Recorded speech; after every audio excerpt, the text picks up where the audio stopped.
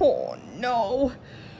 I've already got the hiccups. Mm. Oh.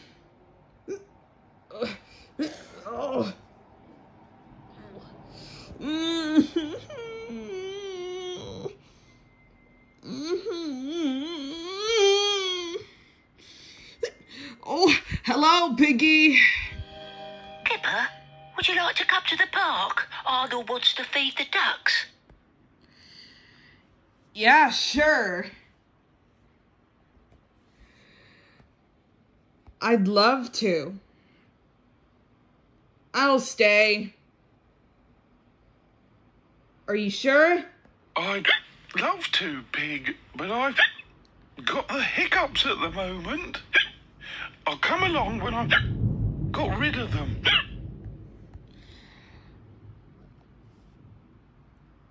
Oh, hey, buddy. There's something wrong with you. Anyways, I have to go to. My little baby here has been have a own good friends. What about me? Put a finger in each ear and stand on one leg. It always works for me. Doesn't it, Arnold?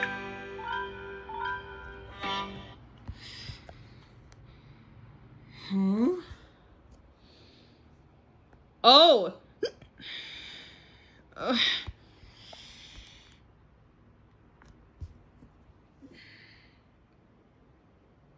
Oh.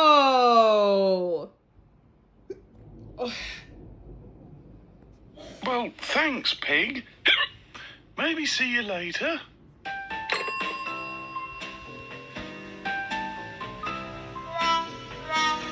No. That's silly. That wouldn't work. Perhaps if I hold my breath and count to 100. One, two, three,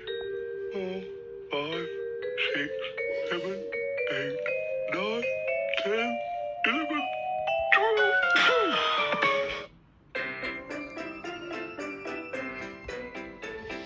You could do amazing things with someone pulling all the strings and taking you in ways you not expected.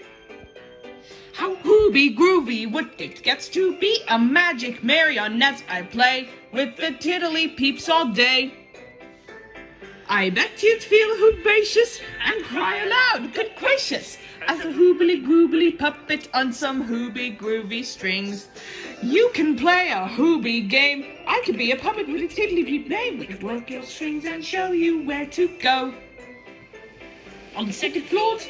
Actually, not really. Maybe we could make and keep a puppet's tiddly peep. We would make it feel right at oh in our Hoobmobile. Oh, you could do amazing things with someone pulling all the strings and taking you in ways you not expected. My hooby heart would fly and leap to have a puppet's tiddly peep. Right at only in our Hoobmobile. Right at only in our Hoobmobile.